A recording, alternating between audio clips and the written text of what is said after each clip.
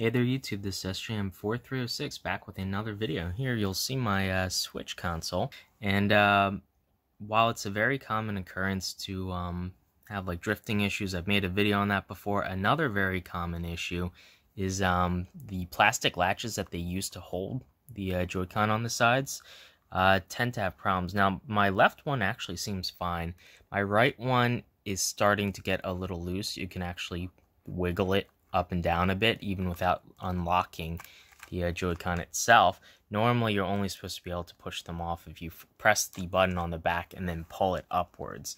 Now, the little plastic mechanism, um, there we go, you can just about see it. Um, that little piece right in there, you can see it going up and down as I push the button. Now, that's made of plastic, and the rails on these guys are made of um, metal. So obviously there's um, you know some issue with the plastic being less resilient than the metal, so that's going to be the first thing to give. Now you can actually buy pretty cheaply on um, eBay and Amazon and a bunch of other sites, AliExpress and whatnot. These metal replacement uh, locks, and these will basically you know last much longer than the original plastic one. So even though I don't have a problem with mine yet, it's kind of only a matter of time of sliding it in and out that I'm going to have an issue. So I'm going to replace them in this video. Now these two of them only cost me I think like 99 cents with free shipping from China, which is ridiculous. It's um, really cheap, so there's kind of no excuse not to do this. Um, they did take quite a while to ship. Um, I think I ordered it like two months ago, and they kind of semi-recently just arrived. So, we're going to pop both these open. I'm going to do them simultaneously and we'll get to it. So basically just four screws and we're in.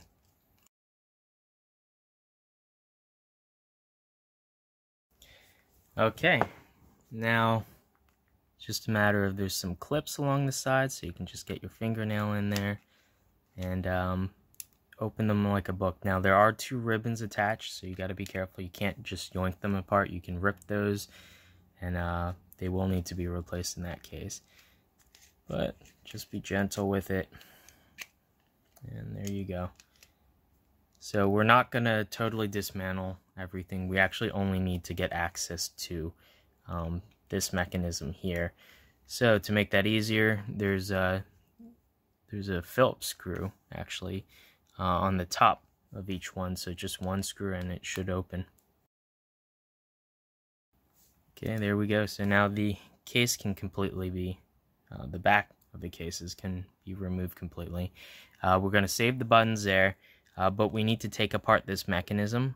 Um, and there's one Phillips screw on this um, metal retaining bracket. Now tweezers are going to help.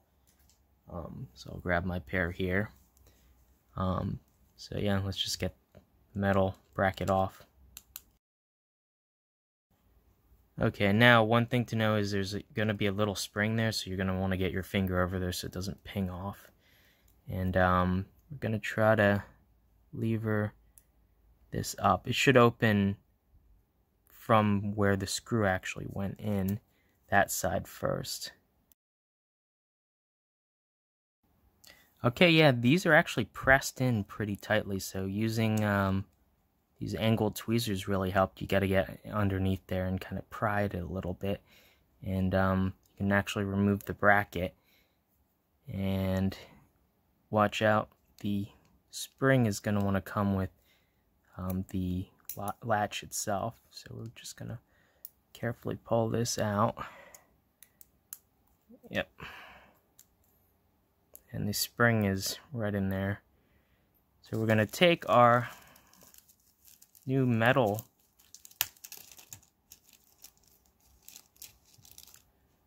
uh, brackets. Going to take the spring and insert it.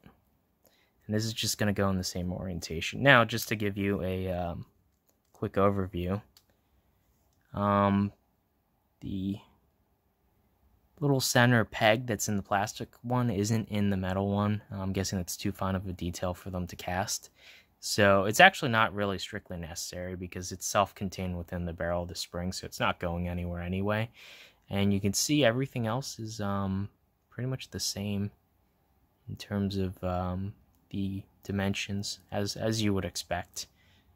It's just this happens to be made out of metal. So we're just going to insert this spring and with the finger pointing upwards we're going to start feeding it in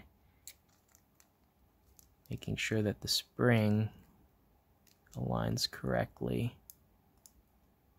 There we go. It just goes right in there. And it freely pushes in and out. And then we just want to put this back in. Obviously, the hole for the screw has to go downwards where there's the actual um, hole within the plastic.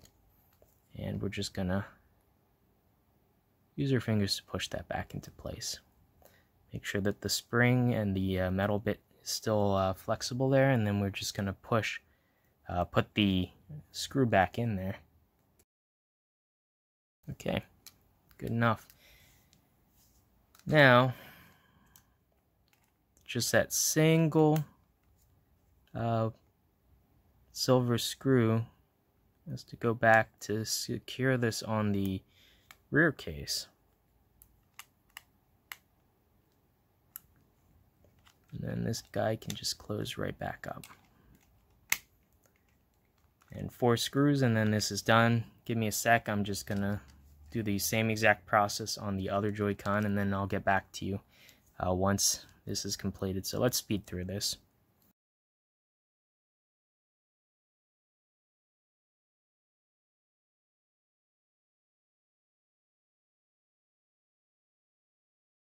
Okay, so here we go. Uh, we're all back together. All the buttons still feel okay. Uh, one thing to note is um, the original, um, I'm guessing plastic might be just slightly um, thinner in terms of the height. So I couldn't screw the um, that silver metal bracket that goes over the latch. I couldn't screw it very tightly, otherwise I actually um, the button doesn't pop up. It kind of gets stuck on, on the metal. So that was one sort of thing you got to be careful. You kind of have to um, test fit it. And we'll slide these on and see how they feel. Oh yeah. Oh yeah, that. It's nicer. There's still a little bit of wiggle, but not nearly as much as before on that one. And this one's still solid. So yeah, um, all in all, definitely a um, useful thing to at least you can at least buy them. If you don't want to install them now, buy them and um, just keep them in your parts drawer. And if your plastic ones ever do fail, literally took me 15 minutes to install them. And I'm going to keep the old ones just in case if I ever, if these for some reason ever wear out, I'll at least have spares of the original ones. These still pretty much worked, um, just were slightly loose anyway. But yeah, anyway, hopefully you guys enjoyed this video. If you guys um, ever intend to um, do this on your Switch, um, it's a quick and easy process and it's pretty darn cheap. So I'll have links down below to where you can get the uh, metal ones and I'll see you guys in the next one. Bye.